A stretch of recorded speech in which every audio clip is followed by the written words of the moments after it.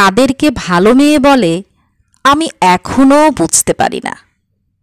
এই বাংলায় যেসব মেয়ের দাদা লম্পট, সেই সব মেয়ের সহজে বিয়ে হয় না। মা মাসিদের মতে, যেসব মেয়েরা সারাদিন ঘরের কাজ করে, কোনো ছেলের সঙ্গে ঘুরে বেড়ায় না, তারাই ভালো মেয়ে।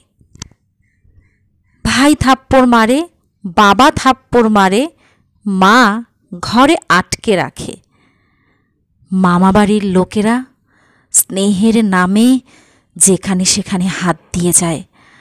অথচ মুখ খোলে না কখনো। সেই মেয়েকেই আমরা ভালো বলি। কাকে ভালো মেয়ে, কাকে খারাপ মেয়ে বলে সে এক রহস্য। মাতাল স্বামী পরিত্যাগ করে যারা, একা থাকতে চায়, তাদের বাড়িওয়ালা ঘর দিতে চায় না।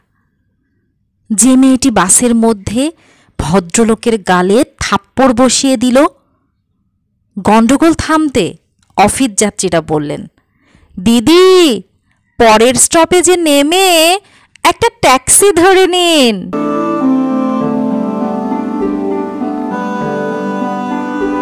যে মেয়ে কারও তোয়াক্কা করে না নিজে আনে, নিজে খায়। যে মেয়ে চাঁদপাল ঘাটে একা দাঁড়িয়ে সূর্যাস্ত দেখে, তার দিকে আমরা ভুরু কুচকে তাকাই। তাহলে মোদ্দা কথা কি দাঁড়াল? মুখ বুঝে যারা সব অত্যাচার সহ্য করে, তাদেরকে ভালো মেয়ে বলে?